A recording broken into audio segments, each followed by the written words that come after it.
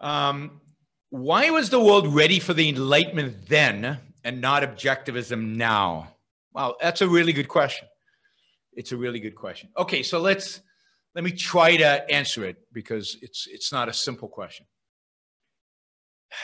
The Enlightenment was a consequence of a certain sequence of ideas. Uh, well, let me let me give you the, the superficial answer first. Not the superficial; it's true, but it's the it's it's shallower in a sense. Um, the Enlightenment demands less. The Enlightenment did not was not atheistic. It's it, it was deist in many respects. Some Enlightenment thinkers were atheists, but it didn't kind of demand atheism. And it wasn't egoistic. It didn't demand a new morality. So, in a sense, it was easier. Even that took hundreds of years to get to the Enlightenment, right? The Enlightenment starts, I mean, not starts, the causal chain of events that leads to the Enlightenment starts with the discovery of Aristotle by the church, if you will, in the 14th century, maybe even in the 13th century, first in the University of Paris, and then it gets to Thomas Aquinas, who really takes the ideas of Aristotle seriously and embeds them into, into the church. In a sense, it makes it part of what the church teaches, educates, facilitates. And he brings the idea, the Aristotelian idea, of the importance of this world, the importance of living in this world, the importance of maybe even pursuing one's happiness in this world, the importance of reason as dealing with this world. He brings that into Dark Ages culture, Middle Ages culture. And that starts a chain of events that within about 150 years, and maybe I'm getting my dates slightly wrong, but in about 150 years, leads to the beginning of a renaissance, a discovery now of more of Greece, primarily Greek ruins, Roman sculpture, Greek sculpture, Greek plays. A whole now view of life starts to emerge that is very Greek. And you get the artists embracing these ideas. Note that art, that in a sense is consistent with the Enlightenment, predates the Enlightenment. The artists come first in many respects, in some respects. The culture comes second. The artists are thought leaders for the culture. So the idea of, of an individualistic man is reflected in Michelangelo's David, even in Michelangelo's Pietà at the Vatican. Um, man having free will, man, man determining his own fate is in the David. It, it, it's, it's in Leonardo's works. It's, it's there. The, the beginning of science is in Leonardo's work, in Galileo's work, in this Renaissance and late Renaissance period, is, is this rediscovery of art, of science, and the beginning of a humanism, a humanism which is attempting, philosophically attempting to secularize Christian morality, to try to come up with morality that doesn't require God and doesn't require a pope. And, and you know, it, it's reasonable to believe that Leo, somebody like Leonardo da Vinci was an atheist. So you're starting to get these ideas in, in the culture. Then you get more scientists and you get more science. And I think the key figure that, that brings us to the Enlightenment is now Newton, two key figures are Newton and Locke, right? Newton and Locke. Newton uh, provides us with the efficacy of reason, with the ability of reason to explain the physical world. Locke is the philosopher who takes that and ultimately gives us individual rights. So there was a sequence of events that took 450, 500 years from Thomas Aquinas to the Enlightenment that led to the Enlightenment. But before the Enlightenment could go all the way, before the Enlightenment could fully understand itself, before the Enlightenment could fully understand what it was really about and what was important about it and present a fully articulated, comprehensive philosophy to defend itself, before any of that could happen, it came under massive attack. And that attack came from basically two places from France and Germany, from Rousseau and from Kant.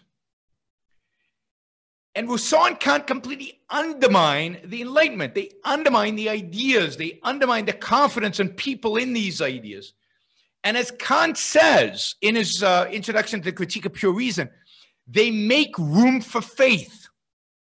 They reintroduce mysticism into our thinking. And in that sense, they save Christianity, they save religion from being annihilated by the Enlightenment. The Enlightenment was on the verge of secularizing society completely. And these anti Enlightenment thinkers save it. So even though we have a, an industrial revolution, which is a consequence of Enlightenment afterwards,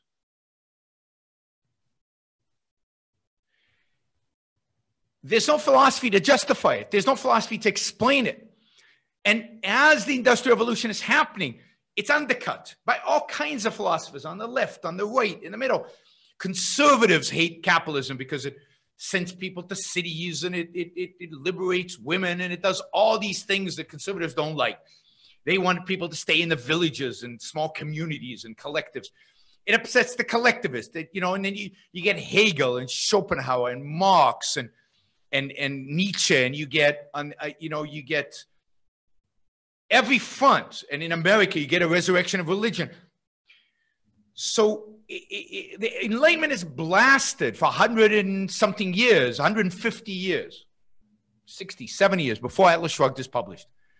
Ayn Rand is the first thinker post Enlightenment to really present an Enlightenment philosophy for people and complete the project of the Enlightenment, in my view. Secularize it completely, get God out of it completely, establish reason on firm epistemological ground, present a theory of concepts that is consistent with, with, with the idea of, of reason as man's basic means of survival. So show how reason actually contributes to human life. Defend capitalism, defend individualism, defend a morality of egoism, defend the, the, the pursuit of happiness, the right to pursuit of happiness, so Rand completes the Enlightenment, but by then it's late. By then, the Enlightenment has been crushed, at least philosophically. Now, I think objectivism will win. The culture could be receptive to objectivism, but to do that, what you need is what the Enlightenment had. You need artists and scientists and business people and lots and lots and lots of intellectuals, all having integrated these ideas and applying them in their work, advocating for them in, when they talk, when they when they when they speak.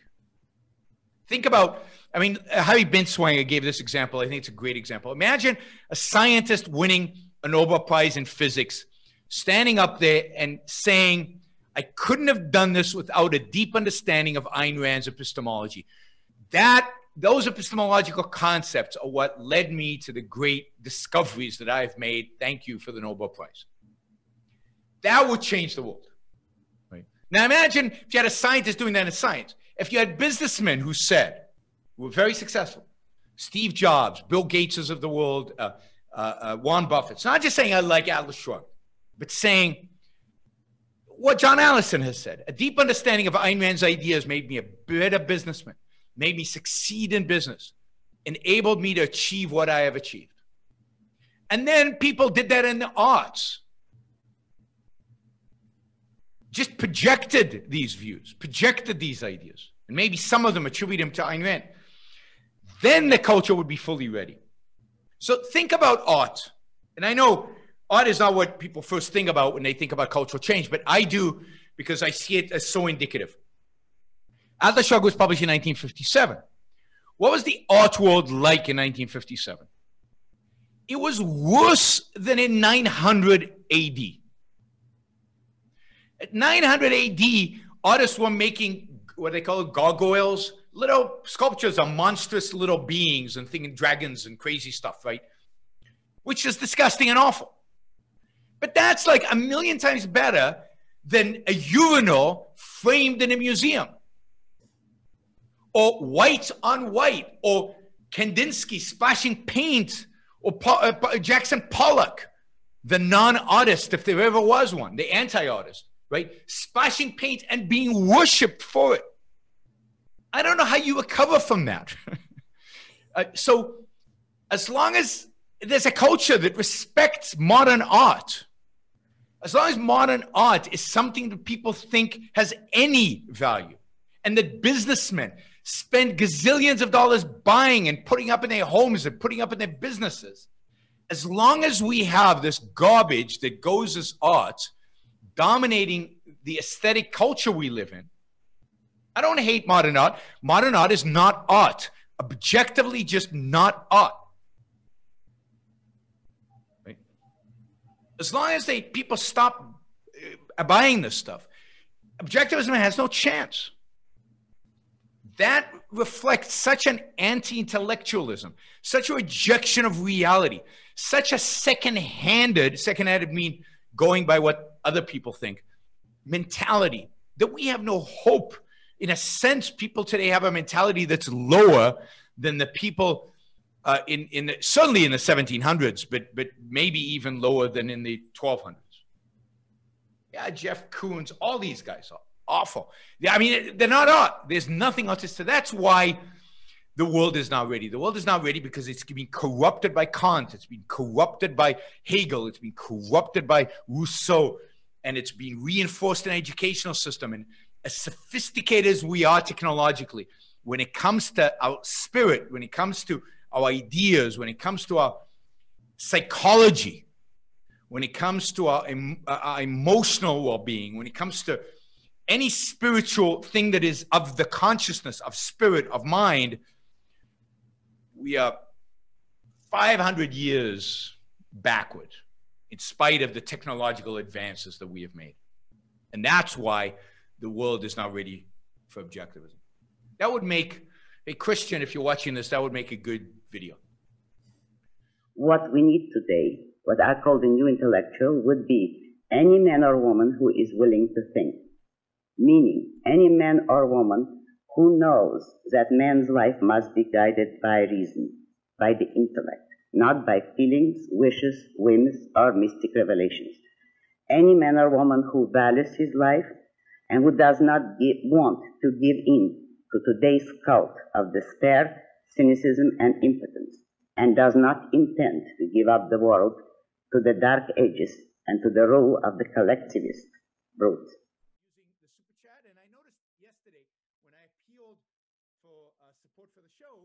many of you stepped forward and actually uh, supported the show for the first time. So I'll do it again. Maybe we'll get some more today. Um, if you like what you're hearing, if you appreciate what I'm doing, then I appreciate your support. Uh, those of you who don't yet support the show, please take this opportunity. Go to yaronbrookshow.com slash support or go to subscribestar.com, Show, and, um, and, and make a kind of a monthly contribution uh, to keep this uh, to keep this going. I'm not sure when the next